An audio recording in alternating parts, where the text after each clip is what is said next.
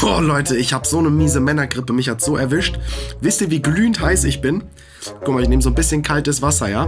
Okay, Achtung, ich schließe nur meine Hand. Schaut mal, wie verdammt heiß meine Körpertemperatur einfach ist gerade. Das ist doch nicht normal!